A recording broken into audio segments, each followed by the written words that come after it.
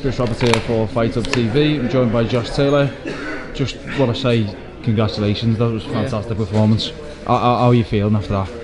I'm great, yeah, I'm great. Um, easy fight for me, to be honest. Um, never got out of second gear. Um, just felt I felt on song. I felt everything was just working perfectly. Um, nice and relaxed and everything. You know, I just I just felt great and. Never got to second gear to be honest. I, I knew straight away in that first round I him a good shot, a good shot to the body, and hitting him a solid jab as well. And I think he was shocked at how big and how strong I am Yeah, at the yeah. weight. You know, um, I know I'm not a knockout artist puncher, but I, I can punch, and I know if, if I hit you clean, I'm hurting you.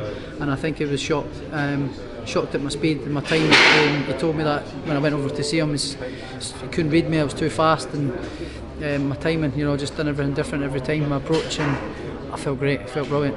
You, seem to be working a lot to the body as well. Um, seems to be wearing them down as the rounds were going on. Yeah. Uh, was that a tactic going into the fight? Um, no, really, I'm, I'm a good body puncher, you know, and I, I vary my punches up. Um, but it was just, I seen him at the weigh-in yesterday and through the week, took his top off, very skinny round the mid, round the mid and around the body. He was very slim and very small. So I knew if I hit him in the body, if someone with that little mid part of the body, Yeah. you're not going to be strong taking body shots. So I knew I was, I knew I was going if I hit him at the body often enough, um, he would, he would slow down. He would get hesitant. Uh, you say you know it was an easy fight, but um, the levels there were just unbelievable. Um, you know, it was predictions you know, going into this fight that this guy was you know really coming to win. He looked he looked up for it. To be fair, Yeah. he looked in good shape. Yeah.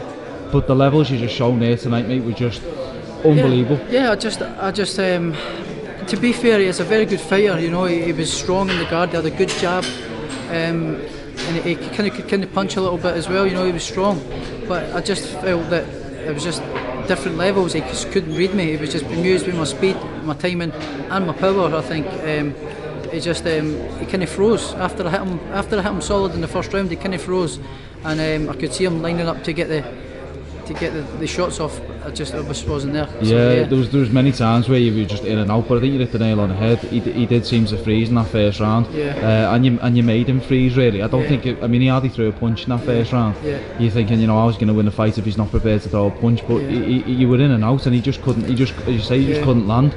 Um, but yeah, I was just blown away because I say it's the first time I've seen you live. Yeah. Uh, you know, actually been at the fight, and it was just just amazing. I mean, it was almost. Would you say it was almost a, a perfect performance? Near enough, yeah, near enough. Um, I think I only got caught a couple of times when I decided to actually stand and put my hands up and feel what kind of power I had. Um, I think that's the only time I got caught because when I let him hit me once or twice, um, and that was the only time I got caught. And then I thought, right, it's easy, let's go and, and back to the game plan and uh, picked him apart. Yeah, I mean, you know that, that part of the fight, maybe it was I don't know, maybe three or four. We kind of got a little bit close, got into his short chest, as throwing a few bots in, shots into the body. Um, were, were you looking for the, for the, were you looking to get him out there at that point?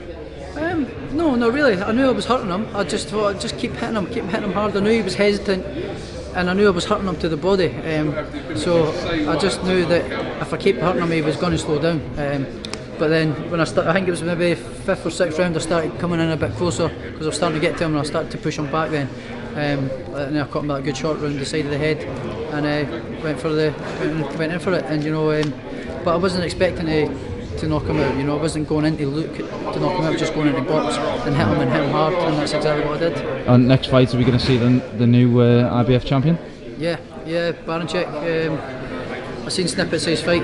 Um, looked strong, you know, looked explosive. So, but I honestly feel that I'm, I'm going to beat him as well. I honestly feel I'm ready for, for anybody now. I feel like I'm ready for anybody. Well, listen, mate, it was just an unbelievable statement and um, so impressive. I, I say I'm almost like lost for words to articulate it, and I don't mean to sort of be Thanks blowing smoke up your mate. arse, but it was just amazing. Was, I say it was uh, just perfect. Well, probably one of the best performances I've seen live as well. So, you know, fair play to you. Can't wait to see you in the next round.